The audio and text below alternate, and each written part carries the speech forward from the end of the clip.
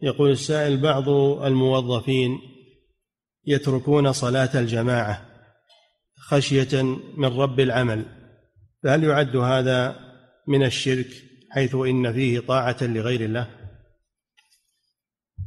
معصية على كل حال معصية. إذا كان هناك جماعة يصلون أو مسجد تقام فيه الصلاة فصلي معهم والعمل ترجع له فإذا قضيت الصلاة فانتشروا في الأرض فهو من فضل الله. ولا يمنعك صاحب العمل إن منعك فلا طاعة لمخلوق بمعصية الخالق. نعم.